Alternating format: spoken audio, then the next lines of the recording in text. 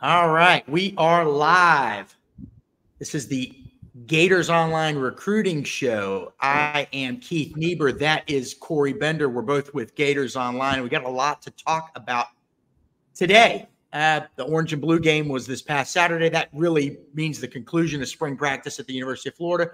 During the last five to six weeks, the Gators had a ton of recruits on campus. Not a lot of guys for the spring game, but that mm-hmm. dynamic has kind of changed. Now, more kids now go to practices during the spring than the spring game because you get more one-on-one time with the staff. But still a fairly good turnout Saturday, but really uh, a strong turnout the last five to six weeks in Gainesville. So today, Corey and I are going to tell you about guys we think Florida has made uh, pretty good progress with this spring. We'll give you a handful of guys. Uh, we're going to talk about guys we think Florida sits in good uh, a good spot with as we enter the evaluation period, which begins today for college coaches. And then we're going to talk a little bit about the quarterbacks. We're going to take your questions. So if you just bear with us, we will get to as many questions as possible. But Corey, just a just a quick overview from you. Was it a productive spring for the Florida staff on the recruiting trail? Yeah, I, it was productive, but I think it could have been a little bit better. I know a lot of people have been asking us, "Hey, are you guys worried about not having as many commits right now?" That's more of a summer thing. But I think overall they, they got some key pieces in. They're trending with some other highly ranked guys. And as we see in recruiting nowadays, it's going to take time. Not every kid comes off the market in spring. I think a lot of people want these kids to come on visits and you know pop and be in the moment and make that commitment. But it's more of a business like thing, especially with these highly rated recruits that Florida's recruiting. So I think given the kind of wait and see approach we kind of assumed Florida was going to get from kids, knowing that hey, this is a big season from them. They still have about a handful of commits, and you know, obviously right now. So I think um, it could be a little bit better, but I don't think it's definitely been a disappointment though. All right, so right now, let's just do a quick overview. Florida's got five commitments and the number 17 recruiting class in the country. The, of the five commitments, three of them are four-star guys. Jalen Wiggins, the edge from Tallahassee. Peyton Joseph, the interior offensive lineman from Houston County, Georgia. Warner Robins, the Buc-ee's exit in that area. I know everybody loves Buc-ee's. Uh, that'll tell you where that school is. Waltez Clark, the other four star running back from Tampa Plant, who ran a PR personal record 10.82 seconds in the 100 meters last week. Uh, very good for a running back uh, in that 200 pound range. And he's getting faster. He's only a junior, guys. So you like those guys. And then two three stars Josiah Abdullah, receiver from College Park Woodward Academy, where the coach is John Hunt, former Florida Gators starting offensive lineman. And then Florida also has an offensive lineman committed, offensive tackle. So of the five commitments, Corey, two are offensive linemen. The tackle is Enoch Wangoy. He's from England. And when he committed, Corey, I got to be honest, I hadn't heard of the guy. I don't think you had heard of the guy. I don't think, I don't think a lot of people have yeah. heard of him. And, and it turns out our evaluation team at On Three looked at his, his video. So did the evaluation teams at 24 7 Sports, Rivals, and some others. And it, it, his film's very good. And he's got an NFL body. We list him at six eight, but he told me he's uh, 6'7, 315 in that range. Former basketball player. So he's got the footwork. So you got the NFL body, you got the footwork, you got the reach, uh, and you got basketball type athleticism. Yeah. Those are the guys that are making NFL tackles these days. Florida's going to have to hold off some schools, but he seems locked in after visiting the Gators over the weekend. So those are your five commitments right now. So, Corey, give me a few guys that you think Florida made significant progress with during this six weeks of spring visits to Gainesville? Give me some guys that just off the top of your head that you feel like they made a move with. This us stay with offensive line. Zaire Addison. He just visited on Thursday and Saturday, and you know he's another guy with a prototypical type body, a big time uh, target for them. Florida was in his top group, you know, for much of the past year, but kind of towards the back end. But I think right now you have Florida State, Oregon, schools like that, and I think Florida's kind of in that top tier now after this past week. Um, you know, I mean, I think with John DeCoster, the co-offensive line coach, he said that's the most detail-oriented coach he's came across in recruiting. So Florida's on the come up with him. You know, they're going to get an official over the summer as well. So everything's going well with him. And that's a guy, obviously, fans need to keep eyes on.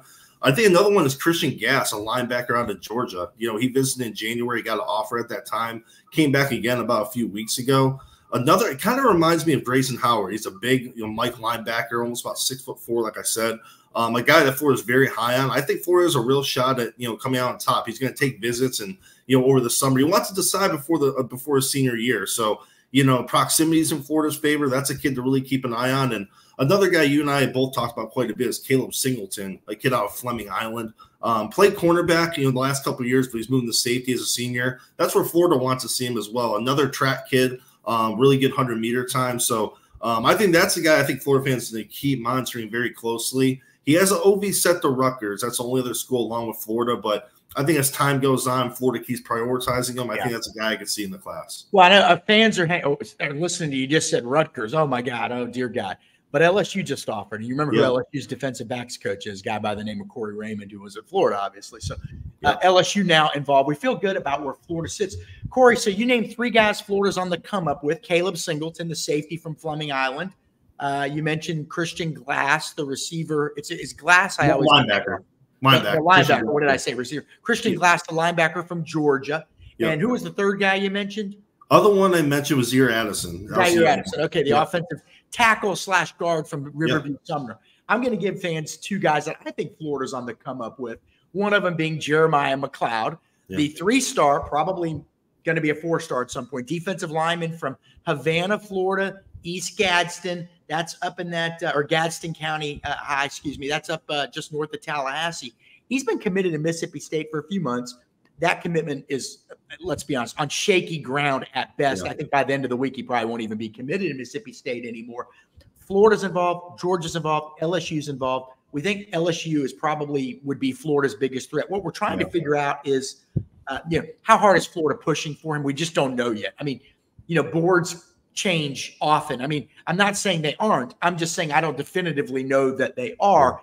If they put the foot on the gas, if they are in fact deciding this is a guy they want, they're going to be very much in. It's going to be them or LSU. He visited the Bayou Bengals over the weekend, but man, he's visited Florida a lot. He could be back soon, and he's coming back for an official as well. Uh, I mean, Florida's doing a great job there. Uh, Georgia hasn't recruited him as hard lately, so I wouldn't worry about them just yet the you know the concern obviously with Georgia is you never know when they're going to uh, go full throttle on somebody. And it's worth noting while he goes to school in that Tallahassee, north of Tallahassee area, he is from Leesburg, Georgia.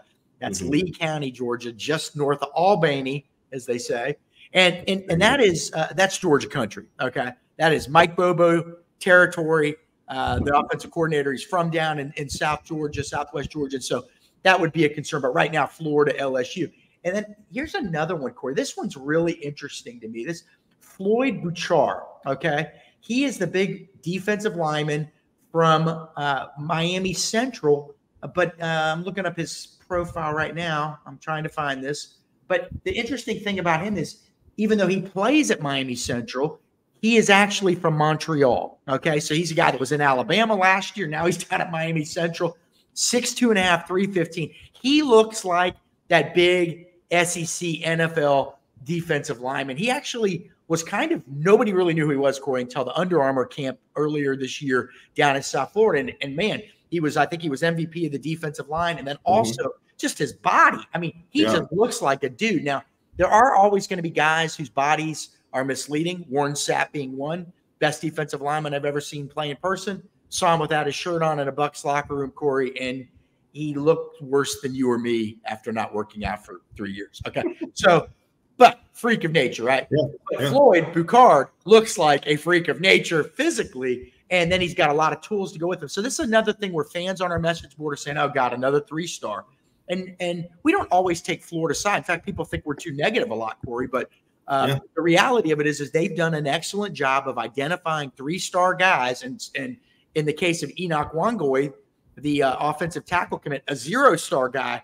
Now he's a high three star. Well, Floyd Bouchard is a three star with a four star offer list that's about to be a five star offer list. And Florida's in very good with him. I don't know that they lead, but they're certainly one of the top two, three, four teams. Yeah. He, uh, Miami's a team to watch. He's right down there. Obviously, loves living in Florida. He told me Penn State is a team to watch, uh, and there's going to be others. But Florida, he just gets this great vibe when he's on campus, and he visited Florida twice in the last month. Going to go back for an official visit. He's telling people, Corey. I think you mentioned that you know somebody. Uh, we both do, in his in his inner orbit that say he really likes Florida. So I like the move that Florida has made for a guy, and I like the fact that they identified. And we we kind of sometimes say, "Oh God, they're taking forever to offer guy offer guys." Uh, but their evaluation team, their scouting department has done a pretty good job on a bunch of guys. And this looks like another one. They were in on him fairly early. They got him to visit a couple times, and now it looks like uh, Florida is trending in the right direction. So that that's five guys that we think Florida made significant progress with this spring, Corey. Um, mm-hmm. And and you know we'll see now, Corey. Just if I was going to say, there's two guys that you feel really good about. Doesn't have to be from that group. Yeah. Just in general, and I should point out, we're going to take everybody's questions here. I promise you. Uh, but just two guys that you feel like Corey Florida's in a good spot with April 15th, 2024. Who would you go with? Yeah, I'm the one we left off. Nahshon Montgomery, another Miami Central Blue Cards teammate down at Miami Central. Um, another highly coveted receiver that Florida jumped into the mix for last year.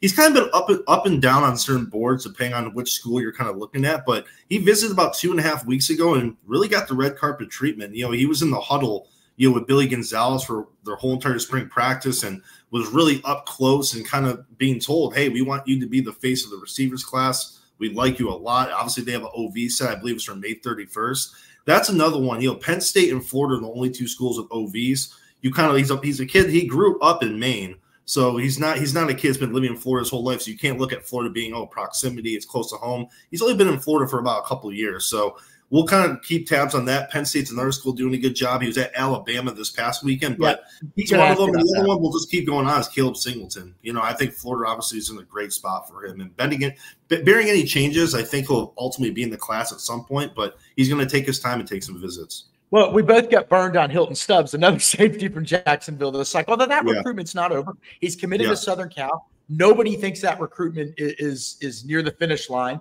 Uh, yeah. Florida people, we've talked to a lot of Florida people, you know, off the record, obviously, and they feel like, hey, Florida's still in it with Hylton Stubbs, yeah. the, the four star safety from Jacksonville. But Caleb Singleton, three star guy. I think once the rankings people across the country start getting a hold of his 100 meter times yeah. and look at his length. So he's six. What do we say about length? Six foot one, 175. Very good length for safety. He's going to fill out nicely too. Good frame. Corey also uh, best 100 meters time recently that we know. I haven't checked his numbers in the last two to three days, but he's clocked at 10.54 mm-hmm. 100 meter. I mean, that's getting in pretty rarefied, not rarefied air, but pretty, uh, I don't know what the word is I'm looking for. It's he's fast as hell. How about that? Yeah, yeah. And, and, you know, again, we talked about uh, earlier, uh, four star running back commit Waltez Clark running a 10 8 2 last week and and Florida being just ecstatic about that because man, this guy can do everything: catch the ball out of the backfield, he can run, he's got great uh, one cut ability. But yeah. so this guy, Caleb Singleton, runs a 10 5 4, and he's only a three star. People are going to notice him this spring. Again, yeah. the spring evaluation period, which begins today and runs through the last week, I think it ends like May 25th this year, gives schools uh, opportunities to go across the country and see guys practice. So recruiting boards shift a lot Mm-hmm. Uh, a, a, lot of times a kid visits you and he looks great, and then you go see him in practice, and boy, he doesn't have the quick twitch that you thought you saw in film, and you know, so the board will shift. This guy, Caleb Singleton's a guy we both think is probably going to start picking up more interest. And then obviously, just a few weeks ago, Corey Raymond and LSU offered, and and it's kind of one of those things when Corey Raymond offers a DB. What was that old commercial probably before your time, Corey? When, EF Hutton talks, people listen as a financial organization. When when Corey Raymond offers somebody, and obviously he didn't have the recruiting success at Florida, success at Florida that people wanted, but when he offers somebody, people take notice. So Caleb Singleton, we think Florida's sitting in a great spot with him. They prioritized him over anybody else, uh, uh, or he feels like a priority, more like a priority than uh, he he does with any other school. He visited the other day. Uh, for the orange and blue game and was there in the stadium a couple hours after the game got when he left the building, who was he with? Secondary coach Will Harris, yep. who's putting a lot of effort into this recruitment core. I love that pick from you, Caleb Singleton. Another guy, you gave a couple guys. Another guy I feel really good about. This one's going to be like a no-brainer, but it's CJ Ingram, the son of Gator great Cornelius yep. Ingram. Uh, he plays quarterback at Hawthorne High, little old Hawthorne High. Gosh, Corey, I go away to Georgia for 12 years. I come back, and Hawthorne High is a state power that's winning multiple state titles. Yeah. It used to be nothing. Okay. Cornelius Ingram's done a hell of a job out there. Uh, and his son has led them to back to back state titles at, at quarterback. Uh, he's also a, a, heck of a basketball player, averaged over 20 points a game as a combo point guard. Uh, but Florida likes CJ Ingram at the receiver position. He loves Billy Gonzales. He loves David Decker, the assistant wide receivers coach, who we talk about a lot, man. We used to not mention these guys And now they're playing such a vital role. A lot of the guys that aren't technically on the field. David Decker loves him. Uh, CJ loves the fact that these guys are technical freaks. I mean, they are they're trying to make you better every single yeah. day. According to him, very detailed. Yes, very detail oriented. And obviously, again, this is a, a position where fans want to see bigger name recruits. I get that, uh, but I'm only relaying what CJ Ingram said. So, uh, what's his recruitment look, look like? Well, again, this is a guy that doesn't have a lot of offers. So, if you're a Florida fan, you're probably a little worried. But uh, you know, uh, from my point of view, I think what's sort of happening here, sometimes with legacy recruits, not all, hadn't happened with Vernell Brown, but I think people are looking at this recruitment and saying, is he lives 15 minutes from the University of Florida, goes to school 15 minutes from UF. His dad was an all SEC player there. They are into that program. Not worth our time. Yeah. That's, I think that's impacting his recruitment. Uh, the truth is, he is fairly open. Louisville is involved, recruiting him at quarterback, in fact, not receiver, where Florida's yeah. recruiting him. He's going to go up there. Louisville also said, hey, you can play basketball here too. Look, they need players, obviously, on both of those fronts. Mm-hmm. And so he's going to look uh, hard at Louisville. And I think, Corey, he's going to be a guy that gets a lot more attention this spring. People are going to go out to, to Hawthorne High while they're in Gainesville, while they're going to see Jarquez Carter out of yeah. Newberry. They're going to hit that whole area. And they're going to see that this guy's in the six three range. He's got super long arms. Okay. He can play safety for God's sake. Oh, yeah. You know, freaky athlete. I've got all these videos of him doing dunks. I mean, he could put you, he could sit you in a chair and fly over you and do a reverse dunk. Six, like, six five point guard. I mean, he has yeah. great size. Yeah, he's got everything Florida wants. They need that big receiver. Uh, so I love where they sit with CJ Ingram. Right. And I, I, was going to add too because I thought that was a great point you made, Keith, of him being a legacy. And he's a kid doesn't camp too much too, so it's kind of one of those situations where Florida knows about him, and like schools don't want to obviously take the time, but he also doesn't camp too much. So I think Keith, what you said too, if a school gives him the chance to play quarterback like Louisville, that's where I think it could get interesting. But I'm, I'm with you. I like where Florida's yeah, it, it, could. Uh, yeah. Corey, you know, one other guy that I want to mention, if I could backtrack, guy that we think Florida's made a significant progress with this spring, and it's a guy I just mentioned, Jarquez Carter, the defensive lineman uh, at Newberry. Florida didn't offer him it uh, when the previous defensive line coach was here. Gerald Chapman comes into town uh, this winter. Florida makes a quick uh, offer and now has started to make a significant move. He's visited Florida, gosh, four or five times already yeah. this year. He'll be back for an official. I want to say it's that May 31st weekend. Mm-hmm. A lot of schools involved with him, obviously. Uh, but Florida's made significant progress. He loves Gerald Chapman, and we're going to talk about another uh, another off the field guy. I got to look the name up and make sure I get this right. That's playing a significant role here. Lewis McLeod, defensive line assistant coach, and uh, he's from Gainesville well, Jarquez, I always want to say Jarquez Hunter because the guy used to cover another yeah, school. Jarquez Hunter. Played it, it or plays at Newberry High. So again, the local connection. He knows Lewis McLeod, the assistant defensive line coach of Florida. That's helping Florida. He's trained with them before, so uh, I feel like they've made significant progress in him. Corey, yeah. Give me one guy you think Florida. you're not you're not loving their chances right now. You know they visited but eh, I'm not digging this one too much. I mean, there, there's some guys. I mean, you kind of look at. I think even Jaime Ffrench. Jaime Ffrench is one that comes to mind. I know he's not from Jacksonville. There. Say it one more time. You're not optimistic there. No, I think.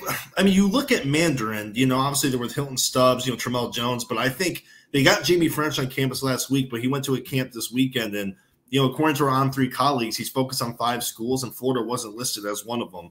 And we all knew that Florida had ground to make up. You know, Billy Gonzales, you know, first met with him last summer. Then they got his mother on campus a week later. You kind of saw, you know, some it was a little bit of momentum there. And you know, obviously then he decommitted from Alabama, so you thought Florida, probably the yeah, the school closest to his home as far as a power forward school, could make some momentum. But I thought after last week, you know, maybe you know stuff could kind of move in the direction a little bit, some possible momentum, but right now Florida's still on the outside looking in, according to our on three colleagues. So that's the guy I think Florida will continue to recruit. I mean, understandably so, but it's going to be a tough pull. All right, just to let everybody know what the plan is moving forward in the next 15, 20 minutes, I'm going to tell you a guy I don't think they've made much progress with. Then we're going to talk about a Florida Auburn battle. Everybody knows everybody wants to give me hell for talking about Auburn all the time, but we got a uh, we got a great Florida Auburn battle going on right yeah. now. We're going to talk a little bit about the quarterback position for the 2025 class, and then we'll take everybody's questions. Uh, I need to do one quick promo right now, though. Uh, I've got to find this because I don't know what I'm doing. Uh, let's see here. I always love your honesty. Yeah, well, I mean, I'm I'm trying, man. All right, so we got a special deal right now. Uh, we got to do the plugs, man. I mean, this, this no, yeah. Corey, Corey drives a Maserati. I just bought a hundred and fifty thousand dollars souped up Tesla. Uh, we've got a lot of bills to pay. Uh, a lot of bills. Yeah, a lot of trips, first class tickets, you know, that kind of stuff. Right now, and and it's really just for YouTube. All right, and we're doing this for YouTube uh, to see. We're, we're, it's it's actually a great way to to grow Gators online, but also if anybody's interested, you're probably not. It helps us track um, how many people watch this show and then go to our site. So for right now, you get two months of Gators Online for one dollar. Usually it's one month for one dollar. So hey, look, I mean that's a hey, a deal's a deal, right? Two months of Gators Online for one dollar. Use that code down below UF1. Okay, that's specifically for this YouTube show and all of our YouTube shows. So use that code. All right, Corey, the guy I don't think they've made any movement. Uh, you know, I know Florida's been talking about a Kalen Deer four-star running back from Quitman, Mississippi, committed to Ole Miss on March 30th. He's supposed to officially visit Florida on June 5th. All indications are that trip is still on. But I talked to somebody last night that said, and they're in Mississippi, and they said it's going to be hard to get him away from the Rebels. So I, I trust my people on the ground in Mississippi. We all know how hard it is to get people out of that state. That's why it was yeah. so big that Florida got four-star running back Kahnen Daniels away yeah. from Mississippi State last year. That was a hell of a recruitment by uh, by Jabbar Juluke, the running backs coach, and then Billy Napier and everybody else involved. But not loving Florida's chances with Kylan. I want to say Kalen, a Kylan Deer, four star running back. Yeah. All right, Corey Malik Autry. Malik Autry, really good player from Opelika, Alabama. It's 10 minutes from Auburn. Four star defensive lineman. He's been committed to Auburn for like a year, but he's visited Florida six times now. I think, I think, it's actually seven. I know he yeah, said six too. Oh, he said six. That's what I went. With. I don't even think he can keep up with. He's been there so much. Well, there you go. Multi-day visits. Was just there over the weekend with the entire family. He's been there so many times. He says it's now neck and neck. Now, Corey, our Auburn people say, wait a second, pump the brakes on that because Auburn continues to feel outstanding on that. They're, they do not really seem to be concerned. But what's your gut telling you on this one? I, I I'm, I'm starting to buy in that Florida may have a shot. I'm buying in a little bit. I'm buying it. I've always felt like Florida's right there. I mean, I've always felt like that's it's always been his number two school, and I think it is neck and neck. I truly believe him on that. He's seen everything at Florida. I just think when it gets down to crunch time, it gets down to December, and he has to sign. And I mean, simple stuff is just driving around your local area at home, just knowing your familiarity. He's not too far from Auburn's campus. I feel like that's going to be the tilting point, and I know a lot of kids will say neck and neck, and like you said, our Auburn colleagues would do such an outstanding job. And there, there's a strong belief that he is going to stick with the Tigers, but it, it's to have every time he's came down to Florida, like you said, Keith, it's been a multi-day visit. He's seen everything Florida has to offer. I think it also will come down to on-field play. You know, I mean, if Florida starts playing very well, they surprise a lot of people. I think that can improve their chances. But if Auburn's winning a lot and Florida's struggling, and then proximities on Auburn's side. That's where I feel like it's going to shift back to Auburn a little bit more later in the year. But right now, man, it's it is close, but I'm sticking with Auburn right now. Yeah, I, I don't know. I just don't know what to think. I used to joke about to you all the time, Corey. We always joke about him. Yeah, yeah, yeah. Why are you writing about this kid again? I yeah. think I actually told you quit writing about him. Well, no, it's like hey, we write about yeah. him too much. I know you know it's true. like, but funny. he keeps visiting. He keeps visiting. So we, we, will see. I just don't know what to think about that one, but it's an intriguing recruitment. Uh, His recruitment's to the point now. If I see him in the state of Florida, I because I, I, saw him at UCF, and I said, yeah. "Hey, I'm going to see if he's going." He's like, "Hey, I'll be there tomorrow." I said, "Oh my God, here we go, number seven. So yeah. we'll see. Though he's a great kid, man. He handles the recruitment process well, and I know deep down in his heart, man, it is probably tough. But yeah, I think Auburn has to still feel confident. All right, Corey, uh, let's talk quarterbacks here, and then we'll get to the questions. It looking, it's looking like there's kind of four quarterbacks Florida's focused on in the 2025 class. Uh, let me see if I can remember the names. Ryan Montgomery uh, from Ohio visited Florida last weekend. This coming weekend, he'll be at South Carolina. It's really looking like those two teams are out in front of the pack. Georgia also still somewhat involved. They missed out on Matt Zollers, who picked Missouri, but they're recruiting some other guys. We don't know where Montgomery sits on their board. Obviously, we think if Georgia pushes – they become a major, major player, maybe even the favorite. But for right now, we think Florida, South Carolina. Some people think South Carolina. Then you've got uh, Antwann Hill from the state of Georgia says Florida is pretty much recruiting him harder than anybody, uh, and he's from that Warner Robins area as well. And then you've got, uh, let me see, Keelon Russell, the SMU commit from Dallas. I checked in with him this morning. We're not hearing a ton of buzz about Florida. You know, SMU apparently is putting together some pretty good NIL packages to keep him. We hear that Texas could get involved, or excuse me, mm-hmm. has gotten involved, may offer. That would change the dynamic of his recruitment. Um, yeah. And but he said he's still visiting Florida in June. I talked to him this morning, so that visit is still on. Um, and then also an, another one, a new one that's an old one. Tramell Jones, mm-hmm. the Florida State three-star quarterback commit, who I think's a four-star. The guy he may not yeah. be six four and all that. He, man, he's got a gun and yeah. um, a smart guy, winner. I love that. I love the winners, Danny Wuerffel, you know, those guys. And um, he visited Florida last week, may visit Florida again. Not going to be easy to flip him, uh, but if there's one other team involved, really the only other team involved in his recruitment is Florida. He yeah. likes Florida. He keeps visiting. Uh, but Corey, if you had to pick one of those four, well, well first of all, what what do you think? I mean, Florida's not going to tell us, obviously. If they tell us mm-hmm. who the number one on the board is and they miss that guy, then mm-hmm. they look bad. And then they got to go tell the other guy, no, no, no, those guys were wrong. You were really the number one guy. But yeah, your opinion, who do you think is the number one guy on the board and why? I, I, think right now it's Ryan Montgomery, just based off how committed they've been to his recruitment as far as hosting them. And I think also it's just there's just a certain type of buzz. You can just tell when he comes down that Florida South Carolina battle has been so tough and he said it all the time that Rhino Harris is for a long time that was his best relationship in recruiting. That was a uh, coach recruiting the hardest, and he told me that last summer. And I always kind of kept that in mind. And here we are. I think Florida def. I think right. Antwann Hill's another one. You know, because you hear about him. He had an eye-opening visit about two weeks ago and really got the red carpet treatment. I think it's so close between those two. But I think, it, in my opinion, I think it's from what I've heard. Ryan Montgomery and then Antwann Hill and Keelon Russell, and then Tramell Jones kind of in that second group. It's tough. Like you said, it's a great it's a great question you just threw my way because you can go you can make a case for either one. I I mean Russell's probably the most dynamic and probably has for the sure. highest upside of them all. Antwann Hill's got a really high upside too. Uh, but let's not undersell Ryan Montgomery. He's got an upside, yeah. and he probably, I mean, if you ask me, if you're looking at the film, he's probably the best of the group right now. Um, and he's probably physically ready too. Probably the most physically yeah. ready one too. And then and then the other thing, you know, Tramell Jones, and people don't want to hear this because he's committed to FSU. All that guy does is win. He's just so smart out there. And then he camped. Corey, we saw you and I saw him camp in Orlando this spring. His arm's a lot stronger in person than I thought it was. I saw them play last fall, but it was a it was pouring down rain. It was in the yeah. mud.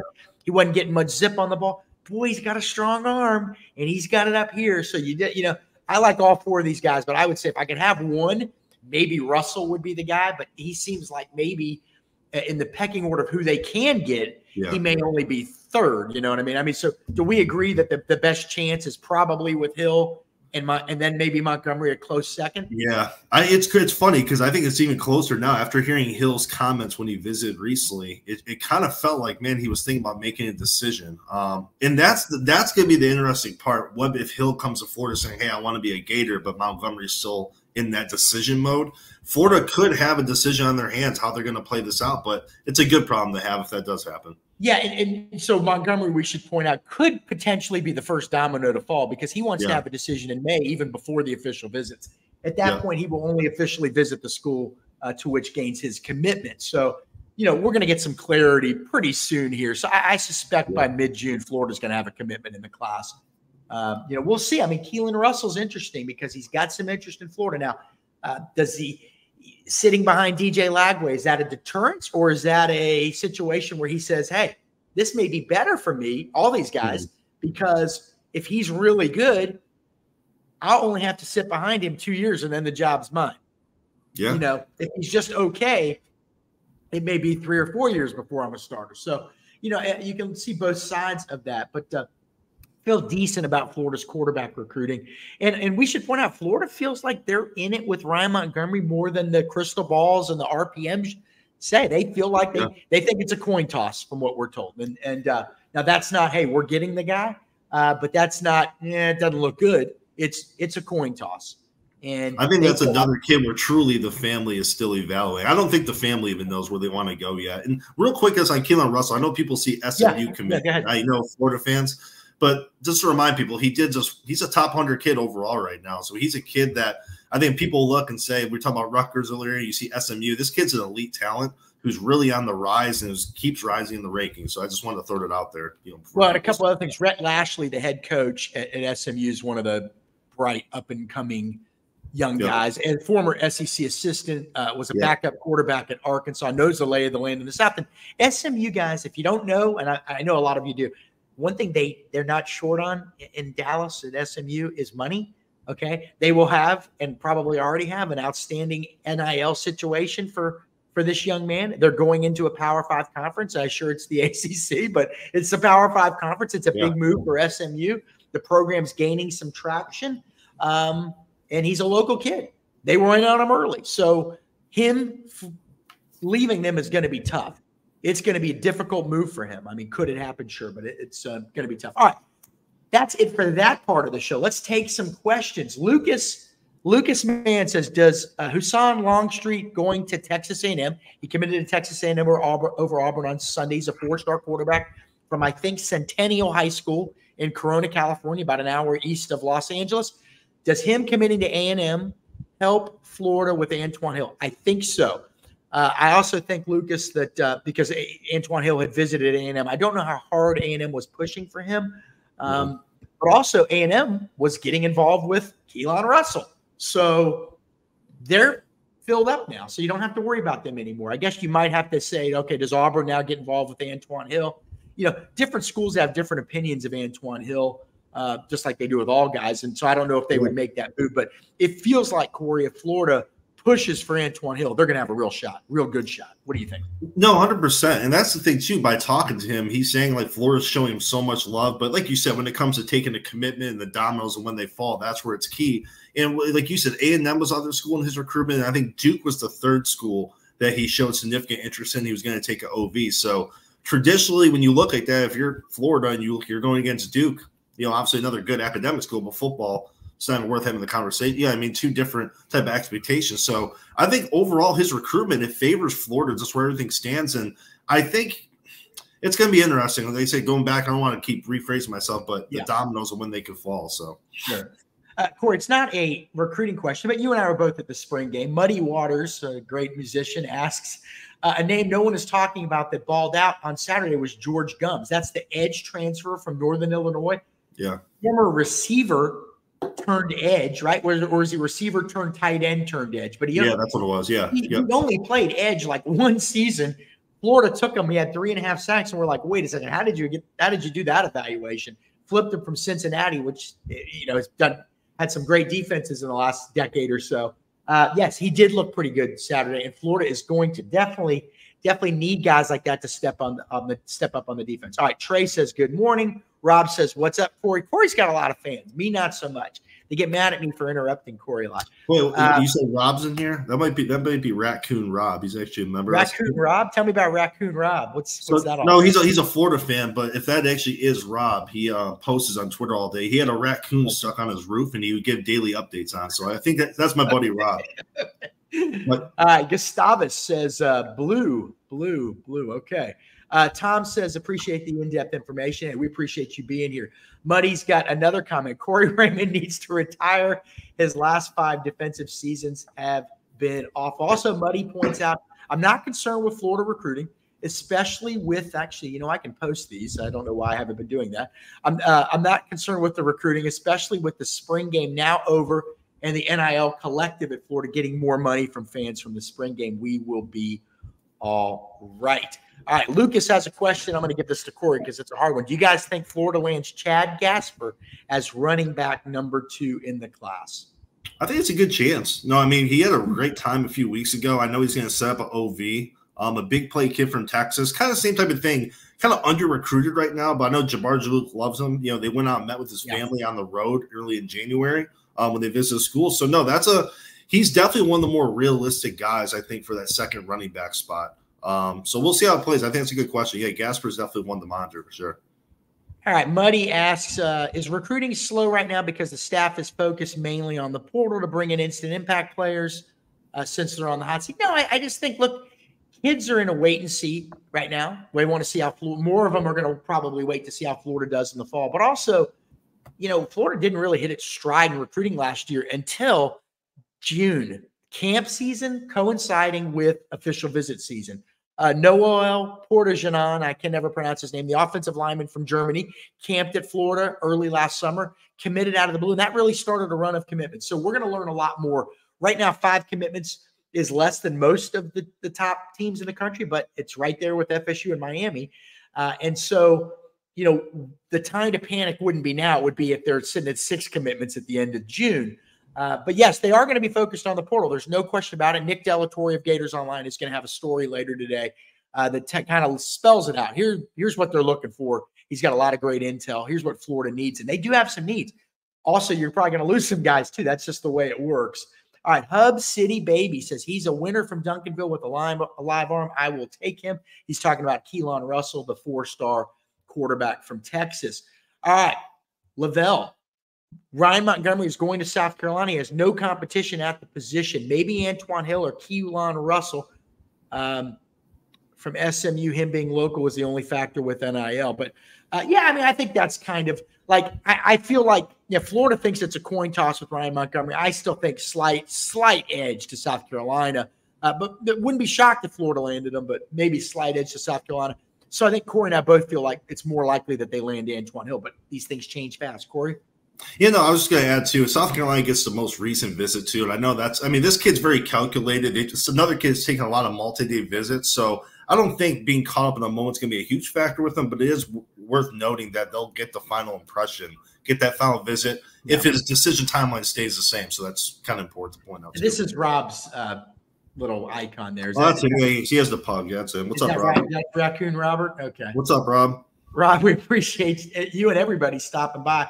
Yeah. Uh, we always say we're going to do more of these, then we get lazy. Um, but uh, we are going to do a lot more of these. We appreciate everybody stopping by. Let me do the promo one more time here. Got to find it. I'm not that smart with this stuff. And uh, you know, right now you can get Gators Online two months. There you go. Two months of access for Gators Online for one dollar, and use the UF use the code, the promo code UF1. So uh, that's it for this show. We appreciate everybody stopping by. We did a quick one, 37 minutes. For Corey Bender, I am Keith Niebuhr. This is the Gators Online Recruiting Show. Everybody, take care. Have a great weekend. We got a lot of good stuff on the site right now, including my gut feelings, uh, where I kind of spell out what I think are um, where things stand with a, a, more than a dozen targets and, and current commits. Corey's going to have some stuff later on, just more elaborating on uh, guys that he thinks Florida's made a move with this spring. And we'll have more great stuff from throughout the week, and we'll both be on the road in the near future. We've got camp season, official visit season coming up. But right now it's big, Corey, because these boards are going to shift. The staff starting next Monday, the staff will be out on the road, checking guys out across the country, looking at them in person, seeing if they pass the eye test. So a lot of great recruiting coverage coming. All right, Corey, we're out of here. Take care, everybody. Thank you so much.